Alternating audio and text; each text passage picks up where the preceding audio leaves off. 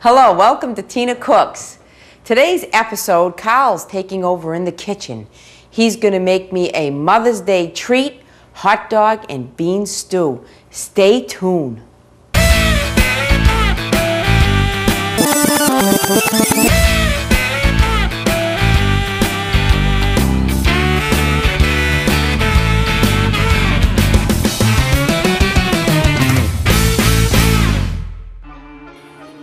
Hello, welcome to Tina Cooks.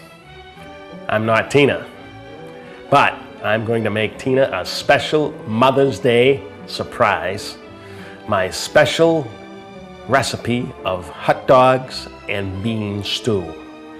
Now, this recipe is probably the only thing I know how to make, but it was passed down to me from my father, Al, and I don't know where he got it from. He probably got it from uh, Popular Mechanics magazine, something like that. I'm not sure where he got it from.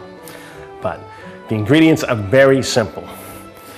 You have a package of hot dogs. Any kind will do. All beef, turkey dogs, doesn't matter. Whatever you want, you can use. One onion, right? A cup of ketchup. Any kind of ketchup that you like, doesn't matter.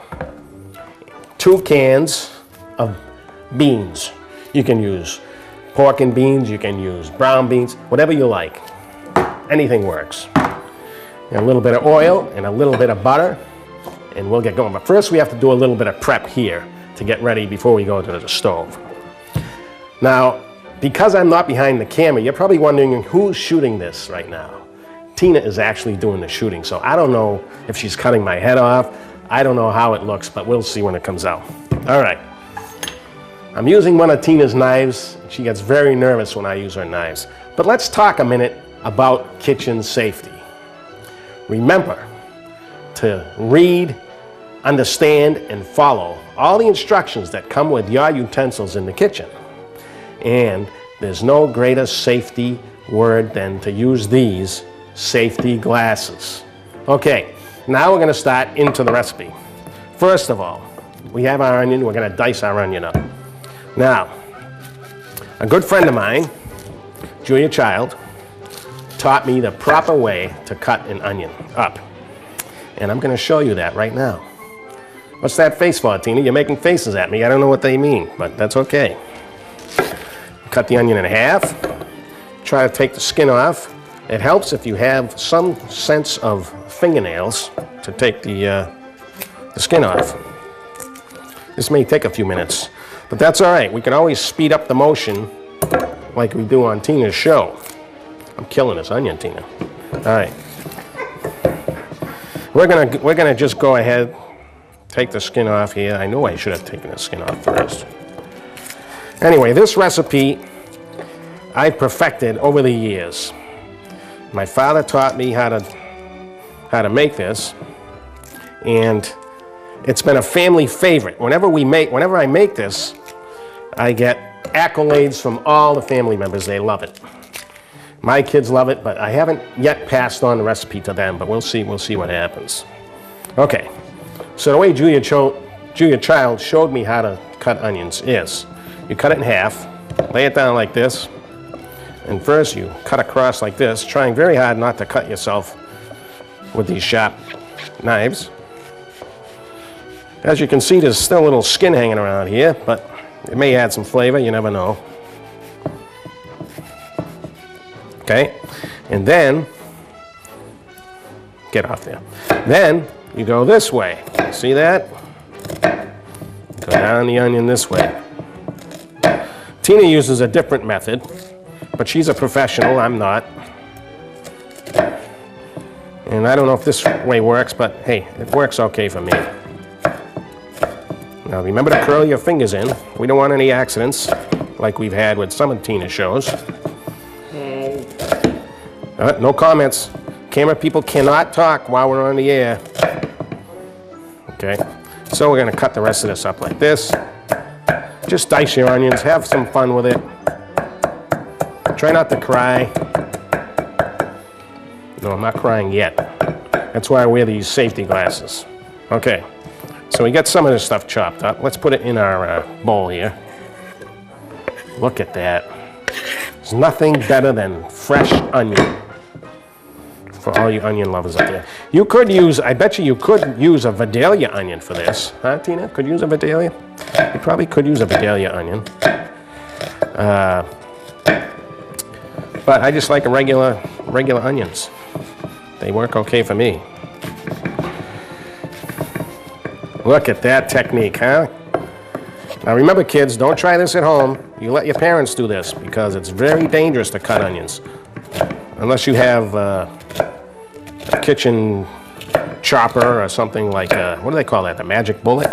I don't know what they call it. I can't talk. No, don't, don't talk. No talking by the camera people. Okay. All right, we got our onions diced. This is probably the hardest part of the recipe, is dicing your onions. Now we come to the fun part. We're going to cut up franks, otherwise known as hot dogs, frankfurters. Now you can use the skinless, you can use the, uh, you know, the ones uh, deli you get from the deli. Doesn't matter. Anything that you like, you can use. Like Tina says, you got to cook with what you like. And Tina knows. Okay. We're to use a whole package of, of uh, hot dogs for this. And you just cut them about maybe uh, an eighth to a. Uh, you don't want them any, too much thicker than a quarter inch. I try to get them thin because they'll they'll cook better when you when you fry them. This dish is done all in a stovetop in in one large frying pan. You can use a non-stick frying pan, whatever you like. Uh, what I'm going to do at this point, for all you people that love to watch Tina Cooks and love the, the fast motion effect that we do when Tina's cutting things up, I'm going to cut the second package of hot dogs in extreme fast motion so you can enjoy the fast motion segment of the show.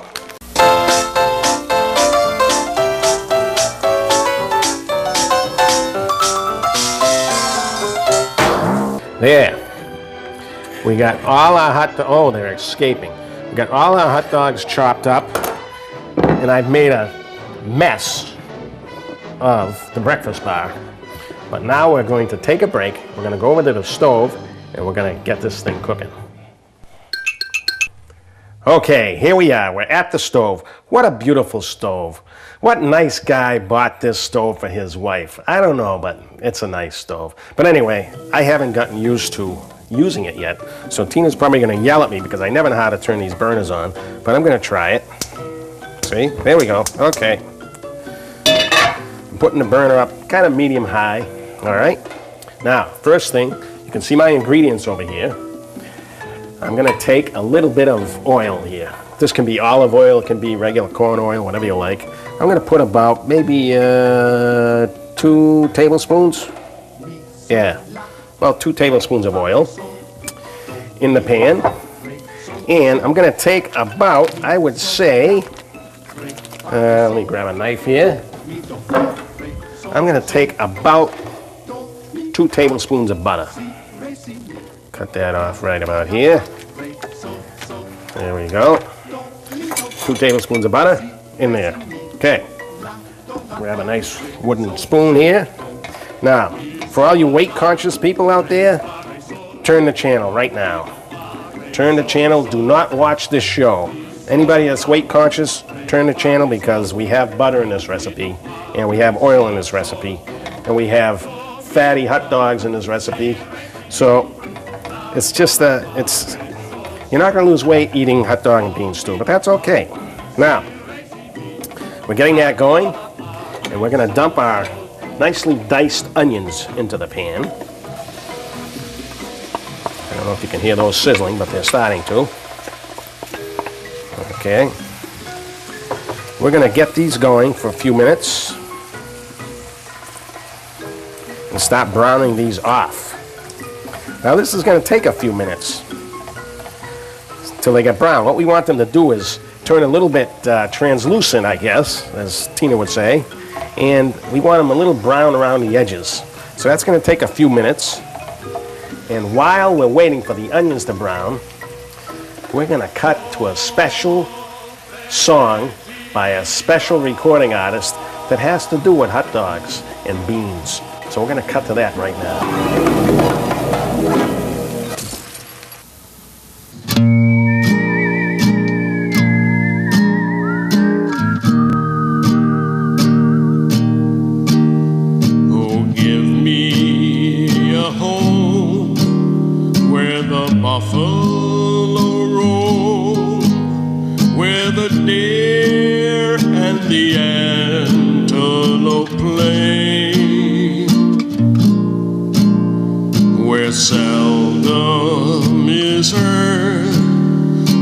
Discouraging word, and the skies are not cloudy all day.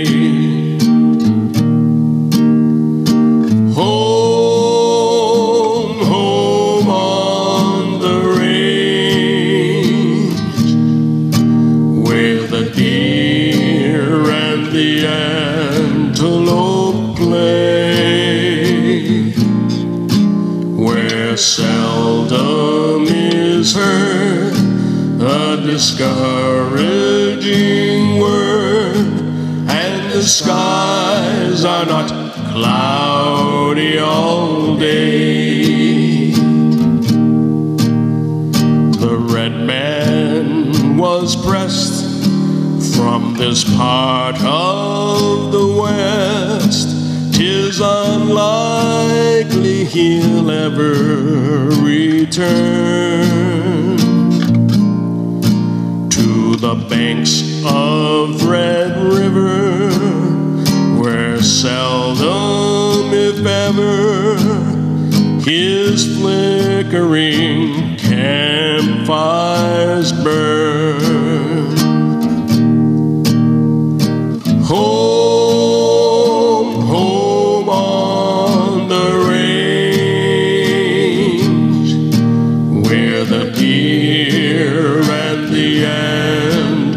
Antelope play, where seldom is heard a discouraging word, and the skies are not cloudy all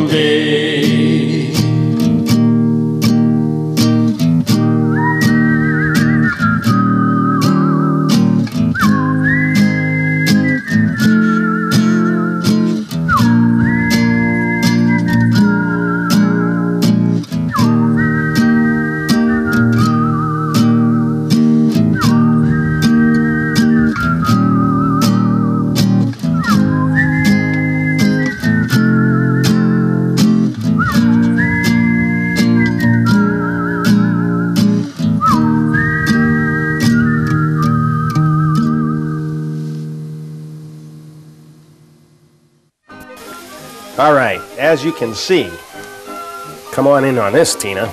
You can see our onions are browning nicely, okay? They're turning translucent and they're getting brown around the edges. Now we're gonna throw in our hot dogs. We have a package of hot dogs that we diced up.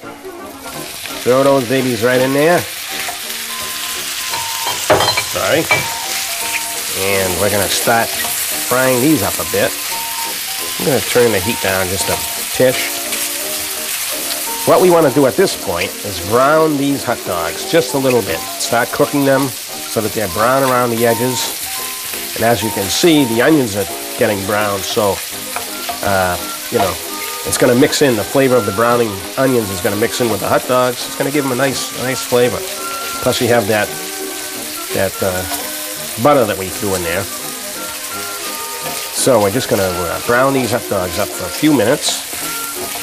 Now, a lot of people don't realize that how much work it is to do an episode of Tina Cooks.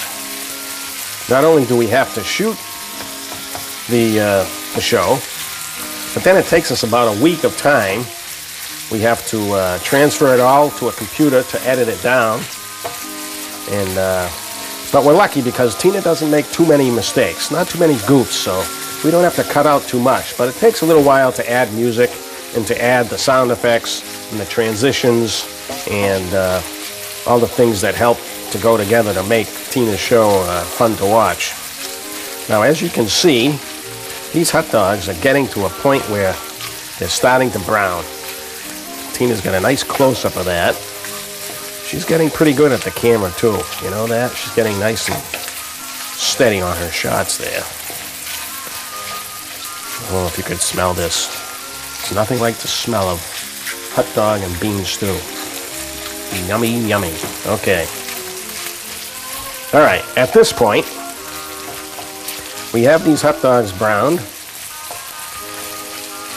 I like them a little browner than this, so this may be another time to go into fast motion, Tina. How about it? Show those hot dogs.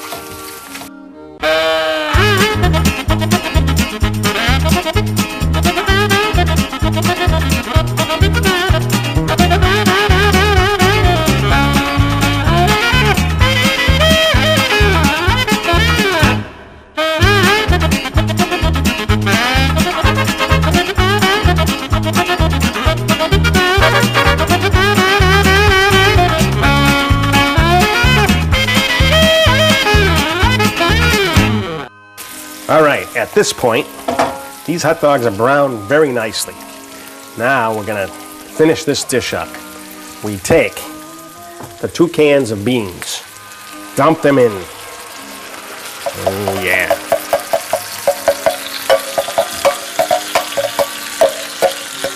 Yeah, we got them all. Okay, we're gonna mix that in. That's gonna bring the temperature down in your pan a little bit, but that's okay. It's gonna cool your pan down, but that's what you want. Now, we're gonna take one full cup of ketchup and dump that in. Make sure you get all of it there. That's it. You're gonna stir that in.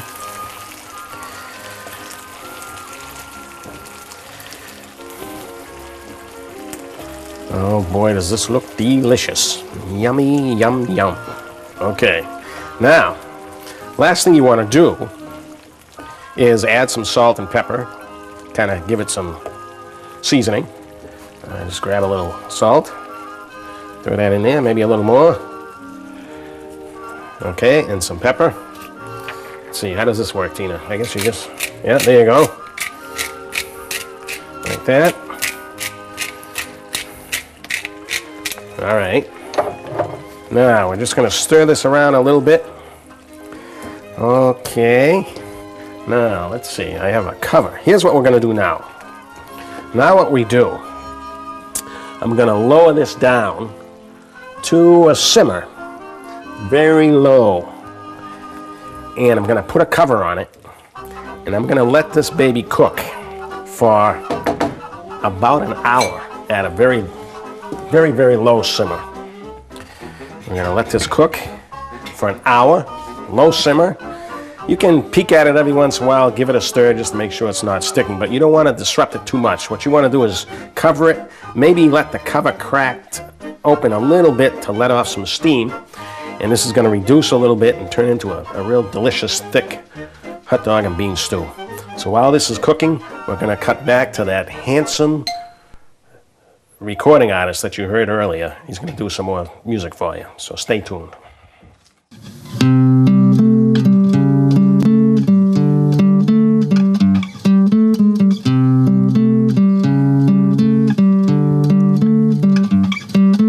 Arizona moon keep shining from the desert sky above.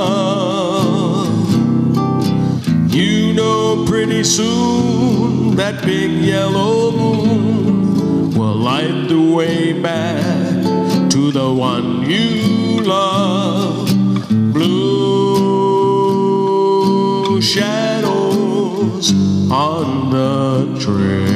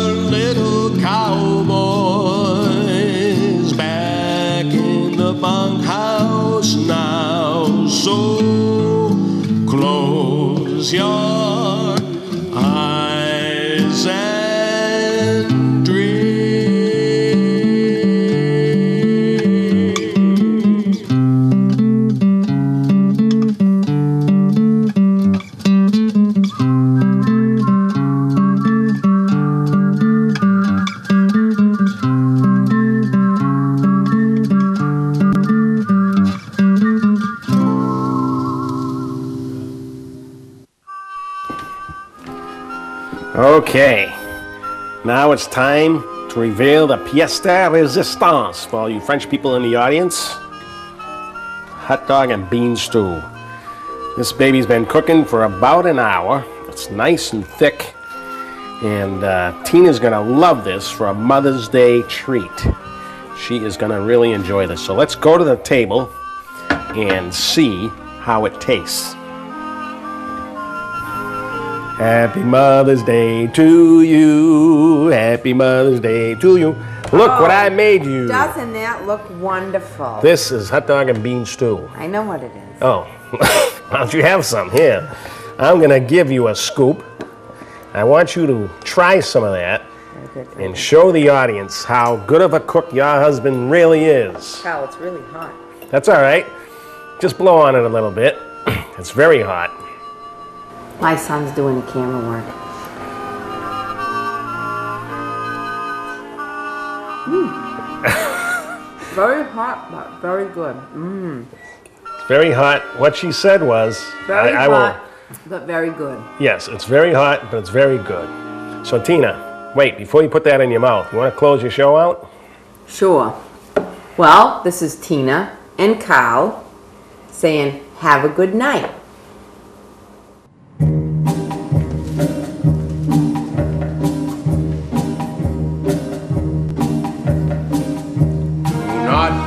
Forsake me, oh my darling. On this our wedding day. Do not forsake me, oh my darling.